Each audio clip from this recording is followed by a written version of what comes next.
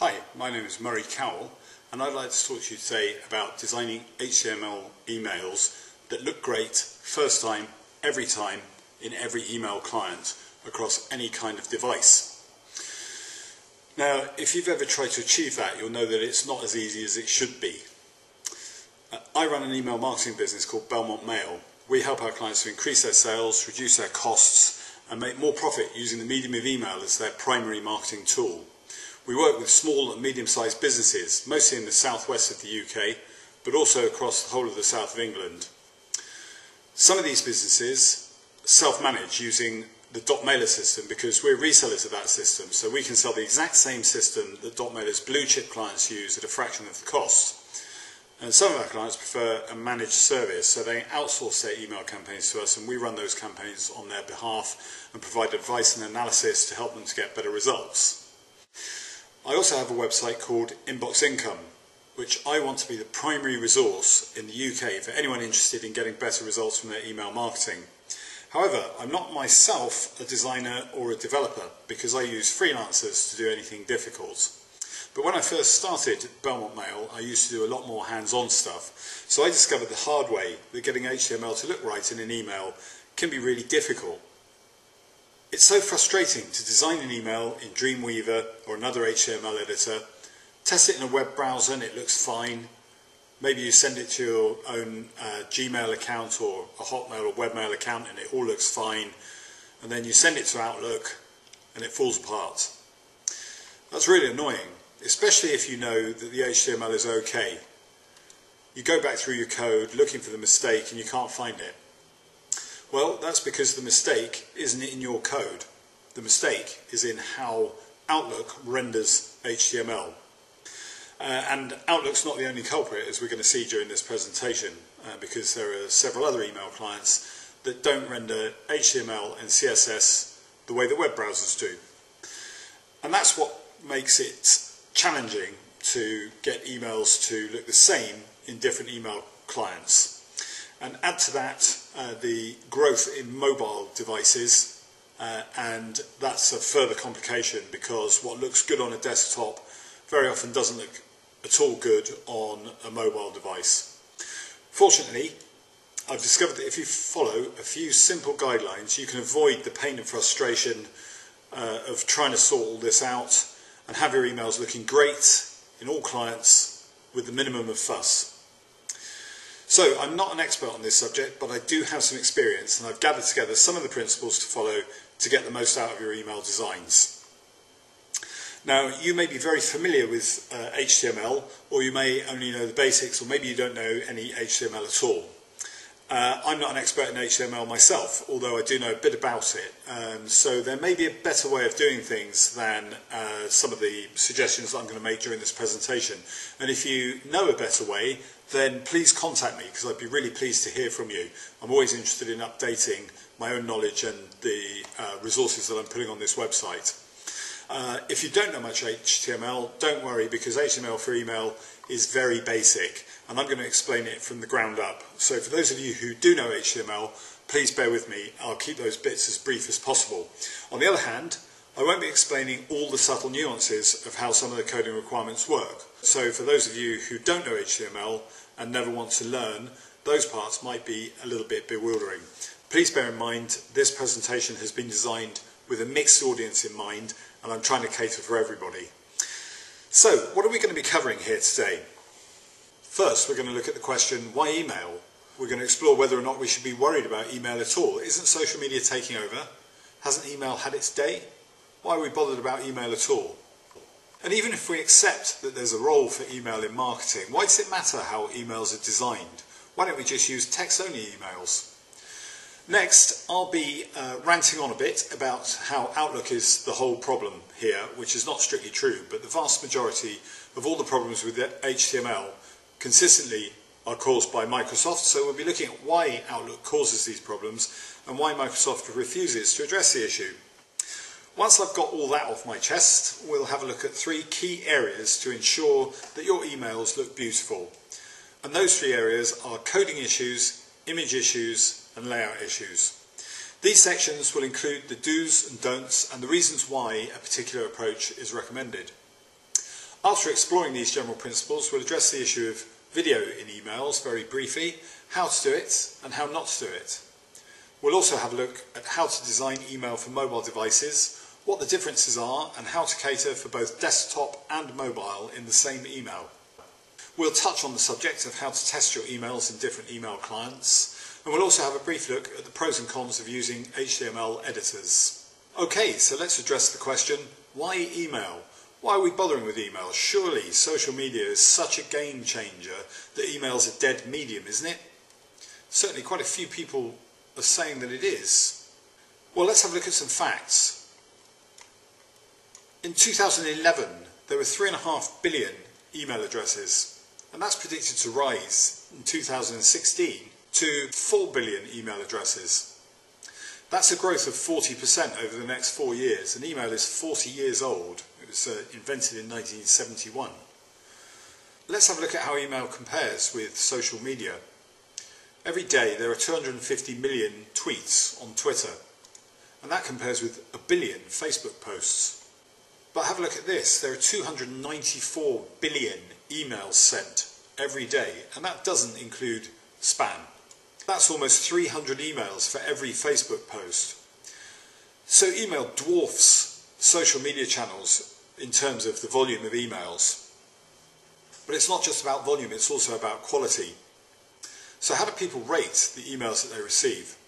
The red column on this graph represents people who found less than 10% of their inbox interesting in 2010. And the blue column represents people who found more than 50% of their inbox interesting. But take a look at how these figures have changed by 2011. The volume of people who found less than 10% of their inbox to be interesting has dropped really dramatically. And at the same time, the volume of people who are finding more than 50% of their inbox interesting has risen. And that's a figure that should be of great importance to us as email marketers. Because if people are more interested in what they see in their inboxes, then they're more likely to open emails that we send to them. Look at how email marketing is growing. The number of people signed up to email marketing lists has grown by 12% year on year. Marketing email volumes have grown by 35%, and the open rates, that's the percentage of people who open the emails that they receive, has increased by 22%. All in all, the total amount of traffic that's being driven to websites from email marketing campaigns has risen year on year by 33%. In a survey of UK customers, 7% of people said that they followed at least one business on Twitter. 45% have liked at least one company on Facebook. But 94% of people are signed up to an email from at least one business. 84% of people are signed up to more than five emails, and 39% of people are signed up to more than 10. So this dispels the myth that people don't want to hear from businesses by email. These figures show that they do. In fact, when consumers were asked which channel they preferred for promotional messages, a whopping 77% of people said that email was their first choice. Facebook was right down in fourth place behind direct mail and SMS texting with 4%, and Twitter only managed 1%. You may be asking the question, what about the younger generation? Uh, because under 18s are notoriously disinterested in email well, the same set of questions was asked to a group of 15 to 17 year olds. And look at these results. Even in that group, the potentially the lowest users of email, 66% of people named email as their preferred channel for promotional messages. So even in groups that don't use email very much, it's still the preferred channel. In fact, looking at social media, Facebook, which has the highest market penetration of any social media channel, has still only achieved 58% of the UK population. And a third of UK consumers don't use any social media at all. Even amongst people who do use social media, two thirds never share any promotional messages from businesses. So if businesses are relying too much on social media as a marketing medium, they could be ignoring a third of their market. So what's email got that social media hasn't? Well, it's got the MIME protocol, which is non-proprietary and universal. Nobody owns it, and anybody can use it. It's asynchronous, so people don't have to be online at the same time to use it. That's true for social media as well, but research suggests that people hang on to marketing emails and act on them at a later date, which maybe can't be said so much for promotional messages lost in a Facebook timeline. Email addresses are easy to segment and it's very easy to automate email marketing. This means that you can send direct, targeted, personalised messages to your clients, customers and prospects. And email marketing is easy to measure, which means that it's very straightforward to find out whether you're getting a return on your investment. Social media is notoriously difficult to measure. So in answer to the question why email, email is a universal, non-proprietary protocol. It's growing and it's going to continue to grow. It's the most fundamentally important tool for digital marketing. Who says so? Consumers of all ages who name email as their preferred channel for promotional messages. Consumer tolerance to well-designed emails is improving and that means that more people are signing up to email lists than ever before. They're opening more emails and the click-through rate is at a record high. So email marketing is not dying, it's booming. So why does design matter? Well, quite simply, HTML emails outperform text-only emails. Even within HTML emails, the template here on the left, which is rather pastely, was replaced by the template on the right, which is a little bit more vibrant and is better designed from a functional viewpoint. This slide shows the difference in results. The new template outperformed the previous template, driving almost twice as much traffic straight to the client's online shop. So, why is designing HTML emails problematic? Well, to answer that question, we need to look at a very short history of HTML. In the early days of HTML, websites were designed using tables. So this is an example that you can see here. The website logo at the top is held in one cell of the table. The top menu is a series of, in this case, five cells. And then there are three cells with a left-hand section, a main content section and a right-hand sidebar, and then a cell all the way across the bottom for the footer. But this approach has certain limitations. It's very difficult to make changes. It requires a lot of recoding to do that because the whole table has to be redesigned to make any change. So cascading style sheets were invented to allow the separation between content and layout. So here's an example of a website that has been designed using a cascading style sheet and using this tool we can explore um, and see that all the information concerning where this particular element of the page is positioned is held in the style sheet. So for example it's floated to the left and if we were to change that to float it to the right you can see that the element moves over to the right. So one of the benefits of CSS is that it makes it very easy to make um, changes to the layout without having to go into the main HTML document. So uh, to give you another example, I can change the margin here and you can see that the margin to the right of that element increases. It also allows whole classes to be defined. So for example, the color of the, the text is held in the body tag of the style sheet and so you can see that if I make a change to that, several other areas on the page have changed, and that's because they're also affected by the same piece of CSS. This is the style sheet in its entirety, and what this contains is all the information that controls the layout of every area and every element on the website. So CSS was introduced to put content and layout in separate files. But browser support for style sheets was very slow, and it wasn't until the mid-2000s that all browsers universally supported it. Email clients have been even slower to adopt, notably Microsoft Outlook. To illustrate this situation, let's build a newsletter. Well, to save us the trouble, here's one that I made earlier. Uh, fairly basic sort of layout and this is built using HTML and CSS. So this is the HTML file and you can see that uh, there are various divisions that have been defined and all the information about where those divisions should be positioned are contained in this style sheet. Now standards for HTML are set and monitored by the W3C organization. So let's just have a look at our HTML here and check that that's valid. And yep, that document's been successfully checked by the W3C service and certified as being valid. Let's try the same for the CSS. Okay, so that's showing us that we've got valid HTML and valid CSS. So let's have a go at sending that to Outlook and see what the result is like. And once again, to save time, I've already done that. So this is the result when you send that HTML to Outlook. Oh dear. That's not what we wanted at all, is it? And it looks absolutely dreadful. Um, at the end of an Outlook email, if you right click, you can pick, you can select view source and it'll show you the HTML that's being used. And this will, this will show us the root of the problem because if we look at our HTML,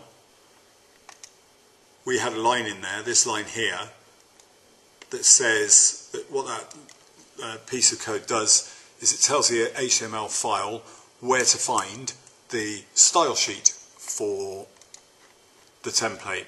And if we go back and look at our source code here, we can find that in the header section of the HTML, where that's supposed to be, that line has been taken out. So Outlook strips out all references to an external style sheet. And it's not the only email client that does that. Most email clients do. Okay, but fortunately HTML provides us with another option, and here it is. This is the style tag, because rather than having this external style sheet, you can put your CSS between style tags and incorporate it within the document with the HTML. So let's just check that against the W3C service to make sure that it's still valid code, revalidate it. And it is, so it's passed, it's been checked as um, valid HTML and CSS. Let's have a look at what happens when you send that to Outlook. Okay, so that's a little bit better. You can see that some of the styles have been applied, but it's still a very long way off the look that we're trying to get. Let's have a look at the source code, see what that tells us. And this is very interesting because you can see that our style tags are still there and all the CSS that we defined has been preserved. So now, it's not that the CSS isn't there, it's just that Outlook doesn't render it properly. And that's the problem. Why does Outlook do this? Well, uh, the reason is that before 2007, Outlook used Internet Explorer to render HTML, but from 2007 onwards, Outlook began to use Word to render HTML. And the HTML rendering engine in Word works very differently to how HTML works in browsers, and it isn't standards compliant. Everybody hoped that in 2010 Microsoft would take the opportunity to change the situation. They didn't, and it also looks like Office 2013, when it comes out next year, five years on, will still be using Word as the rendering engine, and there are still no signs of any standards compliance. Why does this matter? Well, Outlook's market share is about 28%, higher than that of any other single email client. And in business to business markets, it may be even higher. This is an analysis of the last email that uh, I sent, and you can see from this that almost two thirds of my clients and prospects are using Outlook to read their emails. And in the breakdown, that shows that 26.5% of my audience using 2003 or below, and the rest of them are using later versions of Outlook. So you can be pretty sure that if I don't get my emails looking right in Outlook, then that's going to affect quite a significant minority of my clients, and it's probably true for everybody. So what have Microsoft got to say about the issue? Well, this quote from their product manager is very interesting indeed because he seems to be saying that the reason that Microsoft are persisting with this situation is so that people can use smart art, automatic styles and templates. His second sentence is very interesting because he seems to be saying that Microsoft don't really care about standards compliance within email. And when he was asked why Word has to be used to render emails as well as write them, his reply is really saying it's so that one Outlook user can read the HTML emails that have been written by another Outlook user. The bottom line is that Microsoft are well aware of the situation, they're unrepentant, and there's no sign of this situation changing anytime soon. It will be years if ever, before there are standards compliance browsers, and longer still before everybody is using them. But Outlook is not the only culprit here. This spreadsheet shows compliance across many different clients for various different aspects of CSS support. And you can see that at best, support for CSS across clients is patchy and the situation is a long way off there being any kind of standard. So it looks like this is a situation that we're going to have to live with and work with for some time to come. So what to do? Well, here are some guidelines for coding emails. Firstly, no style sheets, no external style sheets because most email clients won't link to them. So all CSS must be in line. You can use style tags, but bear in mind that many email clients will strip them out. Use CSS for styling, but not for layout. Some clients will strip out the style tags, other clients may use them. And actually that can be quite useful because that's what we're going to use to get our mobile devices to uh, render emails differently to desktops, which we'll be coming on to a little bit later on. So uh, all CSS should be in line. Um, HTML provides the facility to put CSS in line. So this uh, example here is a paragraph tag which has style equals and in quotes color hash four F's two zeros. This example is a paragraph tag which has inserted in it some inline CSS, a style statement with a color and uh, a, the hex code for that particular color. So this is what's called inline CSS. The float CSS attribute is not well supported, so don't use it. Use tables for layout instead. And on the right here, I've shown the basic structure of a four cell, very simple two row, four cell table. Div tags are okay for styling, but they may break in some clients if you use them for layout, so avoid using um, divs for layout. Center your email using a centering table, not CSS. So what's shown here is the code for two tables, one of which is nested inside the other. The first table has a width of 99%. Uh, there is an email client that has a bug that means that it won't uh, render properly if it's 100%. So make it 99%. Uh, the inner table has got a width of 600 pixels defined uh, and is aligned center and also the cell in which that table is contained by the container table is also aligned to the center. And this will reliably uh, center your uh, email content in most email clients, if not all of them, without any CSS at all.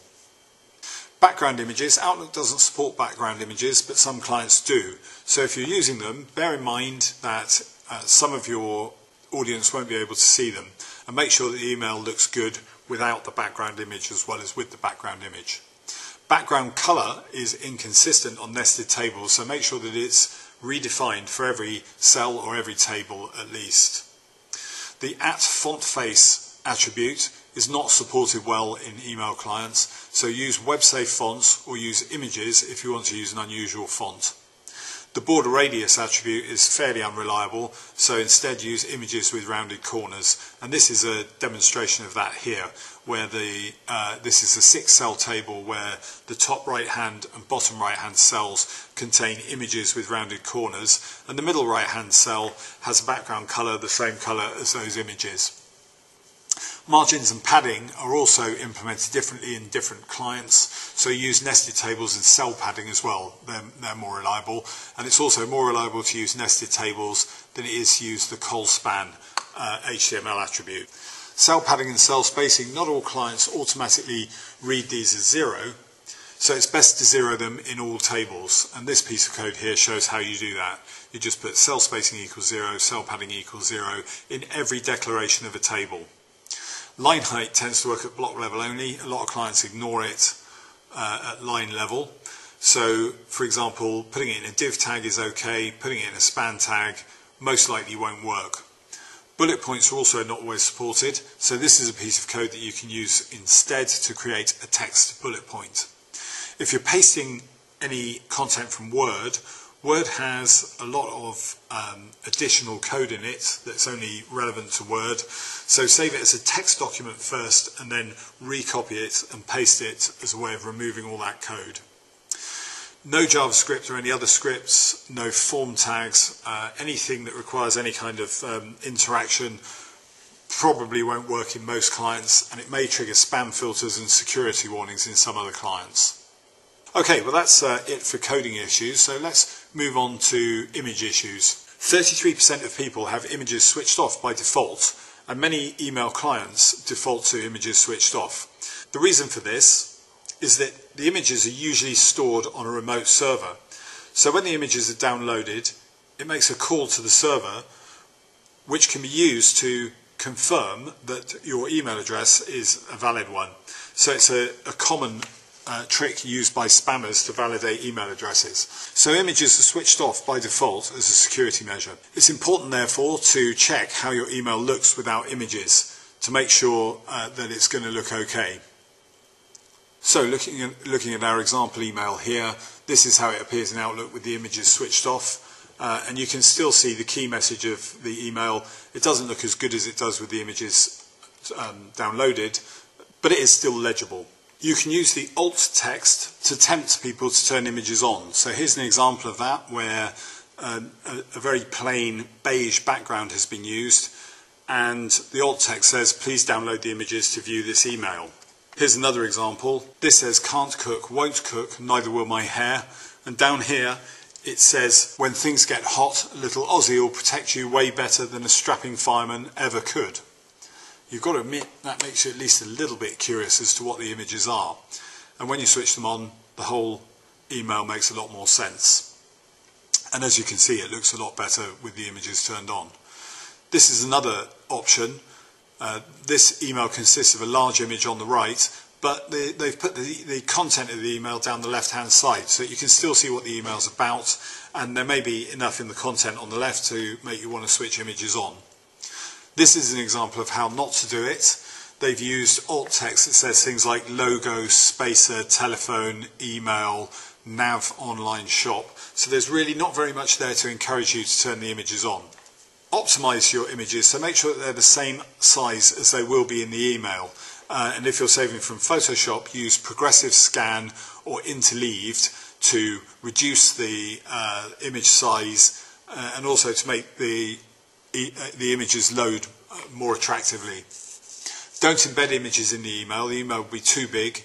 It may trigger spam filters and the load times will be too great. So always host remotely and use the full path. So this uh, piece of code has got http www.belmont.uk.com which is the address of the server as well as the location of the, of the image. Include the image dimensions. This preserves the layout while the images are loading to make sure that your email looks good. And include both the HTML attribute and a CSS style attribute so that if one is ignored, the other one will be picked up. This is what happens if you don't do that. So this is um, an email where the image uh, has the size of the image hasn't been defined, uh, and so an email with the title "Things to Remember" okay, then appears to be completely devoid of any Preview panes. Some browsers put white gaps around all images. You can stop this using the, the style uh, declaration display block. This is a, an example of what happens if you don't do that. So an email here that would otherwise uh, have looked pretty good is ruined by the introduction of all these white gaps. This is that same email with images switched off, by the way. If you receive that in your inbox, why would you do anything other than immediately delete it? Animated GIFs work in some clients but not others. So what would otherwise have been quite a clever piece of animation in some clients will just, in this example, appear as just a blue square or a green square depending on your own internal colour balance. And beware of high image to text ratios. This may trigger some spam filters. Okay, let's have a look at some other layout issues then. Preview panes. Many email clients use a preview pane, so it's quite important to make sure that your key message can be seen even in the preview pane. What can the user see that might encourage them to open your email and read it? Also bear in mind that in some clients, so Outlook for example, the user has the opportunity to put the uh, reading pane on the right. Um, so once again, make sure that your key messages are visible uh, on the left hand side. It's also good practice to place your unsubscribe link quite near the top of your email. The reason for that is if people can't find the unsubscribe link, many email clients have a report as spam button. So if people can't find your unsubscribe link, they'll simply report your email as spam. So your spam reports will go up if people can't find your link. Make sure that your calls to action are clear and bold. And if you have image buttons, make sure that you double up with a text link so that people can see what they have to do even if they have images switched off. And make sure that there are plenty of links, especially if there's a lot of scrolling involved. Use anchor text and back to top links to navigate around long emails. So this is an example of that. The blue section at the top is the in this issue, and each item in this issue has a link further down the email, uh, and each story in the longer part of the email has a back to top link that takes people back up to the index. Many third-party email services have a facility to send a plain text version of the email as well as an HTML version. And this is so people who are receiving the email on a device that doesn't support HTML can still read it. You can format these plain text versions separately from the formatting of your HTML version. So it's a good idea to check the layout and make sure that it's going to be legible on what will most likely be a small mobile device in plain text. So for example, you might make shorter paragraphs, you might use uh, text symbols to uh, highlight headlines and to make a separation from one part of the email to another and remember to change image links into text only links. It's a good idea to make your email 600 pixels wide. This allows for a navigation pane to the left and uh, a standard sort of 1024 by 768 screen resolution. And avoid putting a big image in the header because when that's seen in a preview pane with the images off, uh, there'll be nothing there to entice your uh, audience to open the email and read it. And be careful with custom line breaks because some email clients will change the font size and may display them differently so your custom line breaks may not appear where you intended them to. It's far better to put the text inside a table because then it'll be automatically will um, stay the width of that table whatever the size of the font. Okay, looking at video in email, most clients won't play embedded video, so steer clear of any services that offer the opportunity to embed videos in your emails. They probably won't work, and they might even throw up a security violation in some clients. It's much better to use the image of a frame and link to a video that's either hosted on your website or on YouTube. Okay, let's move on to look at the subject of designing for mobile. This is important because as this graph shows, the proportion of people opening emails on mobile is continuing to increase and is increasing quite dramatically and uh, it's and is decreasing at the same rate on desktops. This is probably especially true if you're in a business to consumer market. In business to business markets, this is going back to the analysis of my last email, you can see that 11% of people opened it on an iPhone and about 0.5% of people opened it on an Android device. So in my business to business market, it's significantly lower. But the trend is rising and it's rising fast. So uh, making sure that your email renders properly in mobile is really important. Some of the design tips to keep in mind. Uh, most, many mobile devices have a screen width of 480 pixels. So single column layouts work best make sure that your key message and your call to action are near the top. Uh, minimize the amount of scrolling that people have to do, so it makes sense to create a different version of your email that's much shorter. And you can use the attribute display none to hide elements in the mobile version. And I'll show you how to do that in just a moment. Apple recommend that all links should be a minimum size of 44 pixels by 44 pixels, and the iPhone has a minimum font size of 13 pixels. So if you make any fonts smaller than that, the iPhone will resize them. The at media query um, allows CSS to be designed for specific devices. So this piece of CSS here has at media only screen and max device width 480 pixels. So what that means is that the CSS that follows immediately after that will only apply to devices that are showing the email on a screen and have a maximum device width of 480 pixels.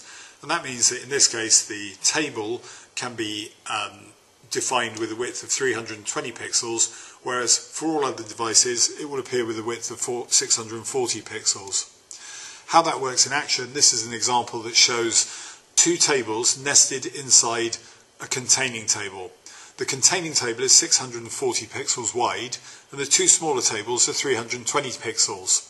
The first of those two tables is aligned to the left, so the second one will flow to the right of it if the table is 640 wide. At the top of the page here, the at media query sets the table width to 320 pixels for devices with a display of less than 480 pixels wide. So if it's viewed on a desktop, this email will show the two tables side by side. But if it's viewed on a mobile device with a narrow screen, the tables will be one above the other.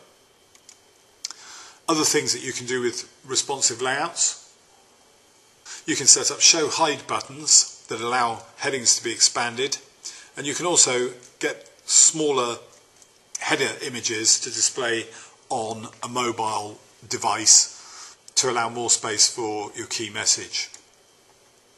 It's possible to use percentage statements, a maximum and minimum width instead of fixed width for flexible layouts. So this image that's being defined here will expand and contract to 90% of the screen width. So as the screen width changes, so will the size of the image. Here's a good example of that. This Starbucks newsletter, as I shrink the size, the width of the screen, you can see the newsletter is automatically rendering itself into a different layout more appropriate to the width of the screen. So if I get it as to the width of a mobile device, you can see that it's automatically adjusted to be the size of a mobile layout. Whereas if it's larger, it expands automatically. Testing. When testing the look of your emails, Dreamweaver has an Outlook plugin which allows you to pick up all the CSS properties that Outlook won't display before you finish designing your email. There are various inbox previewers available. Probably the best one is Email on Acid. It's very cheap to sign up and this will allow you to submit your HTML and receive back a screenshot of how your email is going to look on as many different devices as you want to choose. If you want to do quick and dirty testing, then if your email looks good in Outlook, Webmail, either your Android or your iPhone, and uh, Gmail, Yahoo or Hotmail, it's probably going to look pretty good everywhere. Uh, but rem do remember to test your plain text version as well. And if you want to test for spam, there are numerous free online spam testers that will uh, measure how the content of your uh, email measures up against various um, spam filters. HTML editors, editors and other tools that are available. Um, there's Dreamweaver, of course, but do be careful uh, if you're using the drag and drop uh, functionality of Dreamweaver, it sometimes inserts bits of CSS and changes width statements uh, without you asking it to. Uh, there's a great service called Premailer, um, which allows you to input your uh, CSS and HTML uh, with the CSS between style tags and changes all of that into inline CSS. So uh, that's a great uh, time saver because it saves you having to code every line individually. And then there are third-party platforms such as uh, the dotMailer or Belmont Mail um, platform. This is the Belmont Mail system powered by dotMailer. It's a drag and drop system, so you don't need any technical or coding skills to use it. On the left here we have various elements that you can simply drag and drop into your newsletter, text boxes, uh, image boxes. There are column layouts, spacers, um, whoops, spaces so you can uh, add white space to the layout of your email. And there's even an RSS feed here so you can get the content for the email from an RSS feed and a social sharing tool that once again you can just drag and drop into your email allowing you to share with social media. Once in the uh, email, changing the layout simple. These pink highlights indicate drop zones where the elements can be placed. So any elements can be picked up and moved from one drop zone to another. The elements can be duplicated very easily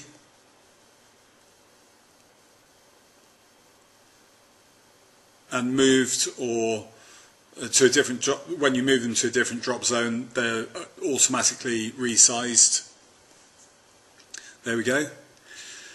And they're deleted simply by clicking this red cross in the corner of the element. The image manager automatically optimizes the images and resizes them to the drop zone that you drop them in. Changing column widths is as simple as dragging and dropping the edge of the column and images resize automatically or you can use this tool in the corner to change the size and these images are being resampled on the fly so that when the email is sent they'll automatically be optimized to exactly the right size. There are all sorts of uh, formatting options available for text so you've got different font types, different font sizes, colors, and the color selection tool here also retains all the colors that are already in use in, in the template so it makes it very easy to get matching colors in the template. Then you've got bold and italic, underline, strike through, superscript, subscript and all the usual text justification options, numbered and unnumbered lists. You can use tables, and if you're familiar with the HTML, you can adjust the HTML of either a single element by clicking this button here, or you can click this button up here to get the HTML for the whole template. You can also style the, the, the other colour scheme in the template using this tab here. So to demonstrate this, I'm going to select the background colour here, and this colour picker appears, which allows me to very easily change the colour of the background to whatever colour I want it to be. You can also use the hex number if you know it. Another option that's available is adding borders and padding to individual elements. So I can add the borders and padding here. So there's really quite a lot of options for styling the email without needing any technical skills whatsoever. This is the easiest to use HTML editor that I've ever come across. And the templates that it produces are unbreakable. They work first time, every time, in every email client. If you're interested in a more thorough demo, then please get in touch at www.belmont.uk.com and I can set you up with a trial account so you can try this out for yourself and see for yourself how easy it is to use this system without needing any technical skills at all. Well, that brings us to the end of this presentation. I hope that you've enjoyed it and I hope that you found it useful. Uh, please let me know what you thought. I'm always interested in your comments and feedback. And do make sure that you bookmark the Inbox Income website because we're going to be adding more and more content, uh, hints and tips and advice about how to get the most from your email marketing campaigns over the coming weeks and months. If you'd like to be kept informed about when a new piece of content has been added, then use the sign up form on this page to add yourself to the email list and we'll send you an email every time we add a, a new topic. In the meantime, thanks very much for your kind attention and all the best with your email campaigns.